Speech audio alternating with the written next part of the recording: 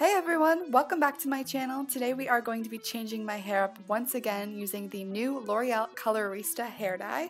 This is basically what my hair turned out to be. It's this beautiful peach. I'm so excited about it. So if you're interested in how I did it, just keep watching. So basically I'm starting off by just brushing out all of my hair. I always do this, you don't want any knots, you just want the color to go on perfectly.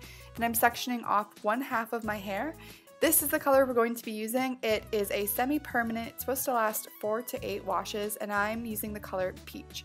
They also came out with a clear mixer, so we're going to be using that as it's a little bit too dark to go on my head just as it is. So I'm just taking a mixing bowl and a mixing brush and then I'm emptying the clear mixer into the bowl.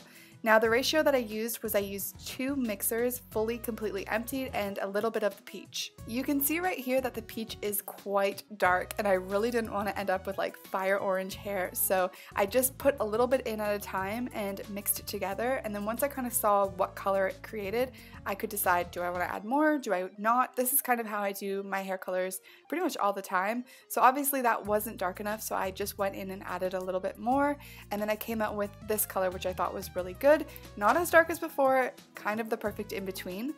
So then I just started by applying it to my roots first. Um, I ended up bringing it down just a little bit further because I had a lot of yellow and I really wanted the color to kind of stick on there for the longest. Then I'm just sectioning my hair like this, adding it to the back and repeating that step over.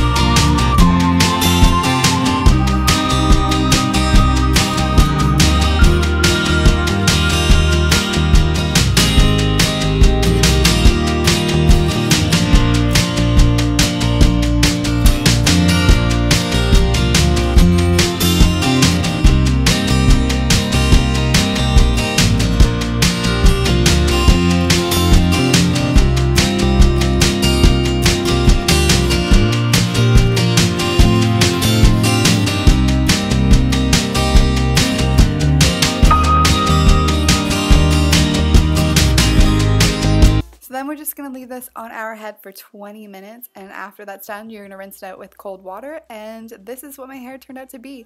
I absolutely love it. I think it is so gorgeous. Thank you guys so much for watching. I hope that you enjoyed watching me go peach and having a little bit of a change up. I change my hair so often but I am trying to stay in the warm color spectrum from now on. I also just wanted to say that although L'Oreal did send me these products, this video is not a sponsored video. The Instagram post of my picture is sponsored however. So yeah, thank you guys so much for watching. I will see you in my next video. Bye guys!